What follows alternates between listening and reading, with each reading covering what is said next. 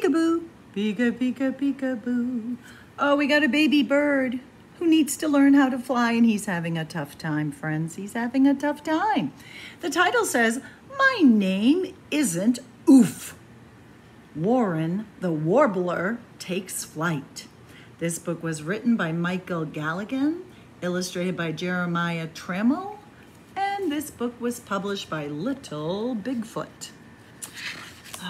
Find out what happens. Here we go, friends. At the edge of a nest, on a brink of a branch, wobbled a warbler named Warren. Warren peered at the forest floor far below. His three siblings had just taken flight, each boasting, I'm flying. Now it was his turn.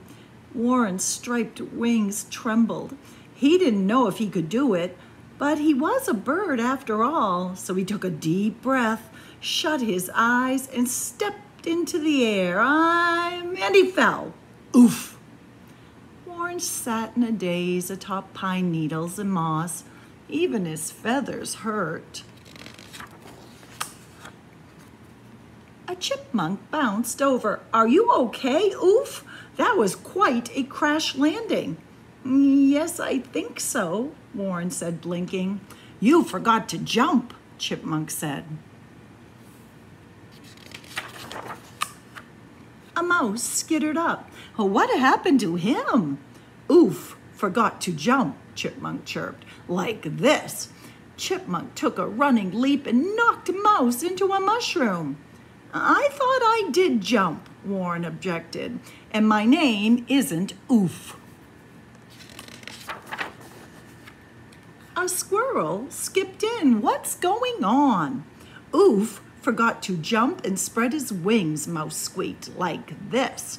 Mouse jumped, swung her fuzzy arms, and bonked Squirrel in the nose. I thought I did jump and spread my wings, Warrens protested, and my name isn't Oof. A rabbit hopped over. What's so serious? Oof forgot to jump, spread his wings, and flap, Squirrel chittered, like this.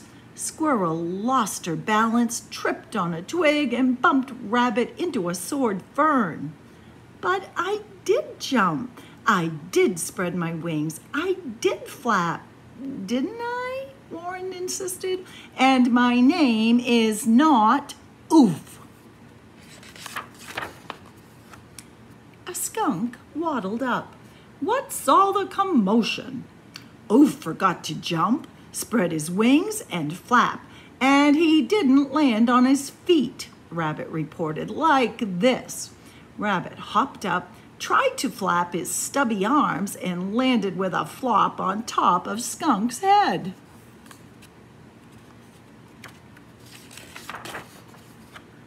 Maybe you're right.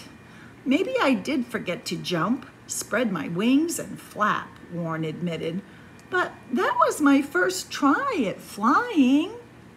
It was? Skunk sniffed. And I was scared, Warren said. You were? Chipmunk asked. Yes. Warren stood up tall, brushed himself off, and spoke up. But now, thanks to all of you, I know I can do it. Like this. Warren jumped, spread his wings, and flapped hard. He was in the air, but then he wobbled. Uh-oh, Skunk said. Warren swerved to the ground. Look out, Robert Rabbit cried. Warren wavered left, then right. Take cover, Squirrel yelled.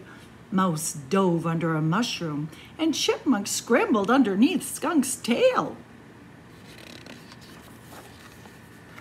But Warren kept flapping, and soon he was flying. Zee, zee, zee, zee, he warbled with pride. He did it, Chipmunk sang. Warren circled the others, brushing over them with the tip of his striped wing.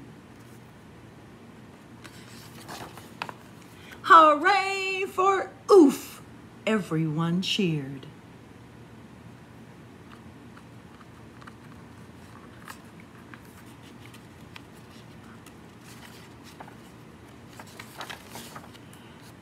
Warren zoomed past his nest to the top of his tree and he sang down to his new friends on the forest floor far below.